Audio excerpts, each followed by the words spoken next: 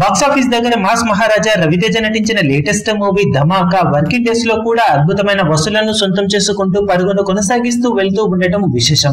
ఐదవ రోజు రెండు పాయింట్ సున్నా ఆరు కోట్ల షేర్ అందుకున్న ఈ సినిమా ఆరవ రోజు ఒకటిన్నర కోటికి అటు ఇటుగా షేర్ సాధించవచ్చు అనుకుంటే సినిమా బాక్సాఫీస్ దగ్గర డే ఎండ్ అయ్యే టైం కి ఎక్స్పెక్టేషన్స్ను మించిపోయి ఒకటి పాయింట్ ఆరు ఏడు కోట్ల దాకా షేర్ను తెలుగు రాష్ట్రాలలో సొంతం చేసుకుంది. ఇక వరల్డ్ వైడ్గా ఒకటి పాయింట్ ఎనిమిది కోట్ల నుండి రెండు కోట్ల వరకు వెళ్ళే అవుట్ రేట్ ఛాన్స్ ఉందని భావించగా సినిమా మొత్తం మీద రెండు పాయింట్ సున్నా రెండు కోట్ల మేర షేర్ను వరల్డ్ వైడ్గా ఆరవ రోజున సొంతం చేసుకుంది. దాంతో టోటల్గా ఆరు రోజులకు గాను సినిమా సాధించిన టోటల్ కలెక్షన్స్ను గమనిస్తే నైజాం లో తొమ్మిది పాయింట్ నాలుగు ఒకటి కోట్లు సీడెడ్లో మూడు పాయింట్ ఐదు మూడు కోట్లు వైజాగ్లో రెండు పాయింట్ ఐదు సున్నా కోట్లు ఈస్ట్లో ఒకటి పాయింట్ సున్నా ఆరు కోట్లు వెస్ట్లో ఎనభై రెండు లక్షలు గుంటూరులో ఒకటి పాయింట్ రెండు ఒకటి కోట్లు కృష్ణాలో ఒకటి పాయింట్ ఒకటి ఒకటి కోట్లు నెల్లూరులో యాభై తొమ్మిది లక్షల షేర్ అందుకున్న ఈ సినిమా టోటల్గా తెలుగు రాష్ట్రాలలో ఇరవై పాయింట్ రెండు మూడు కోట్ల రేంజ్లో షేర్ను ముప్పై ఆరు పాయింట్ ఏడు ఐదు కోట్ల రేంజ్లో గ్రాస్ను అందుకుంది. ఇక కర్ణాటక రెస్ట్ ఆఫ్ ఇండియాలో ఒకటి పాయింట్ ఎనిమిది ఏడు కోట్లు ఓవర్సీస్లో ఒకటి పాయింట్ నాలుగు ఎనిమిది కోట్ల దాకా షేర్ సాధించిన ఈ సినిమా టోటల్ వరల్డ్ వైడ్గా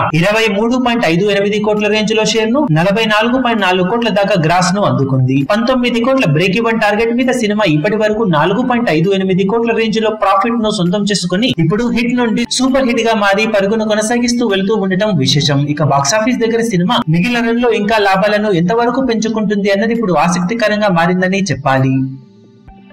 ఈ వీడియో మీకు నచ్చినట్లయితే లైక్ చేయండి షేర్ చేయండి ఛానల్ను సబ్స్క్రైబ్ చేయడం మాత్రం మరవకండి. ఏ చిన్న అప్డేట్ను మిస్ అవ్వకూడదు అనుకుంటే బెల్ ఐకాన్ను ప్రెస్ చేయండి.